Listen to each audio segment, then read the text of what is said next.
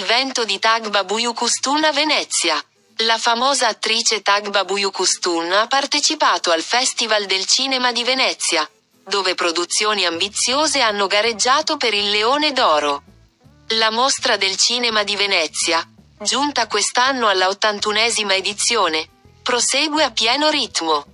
Al festival sono state proiettate molte produzioni di prestigio, tra cui Maria, con Aluk Bilginer e Angelina Jolie, e il nuovo film di Brad Pitt, Wolf Song.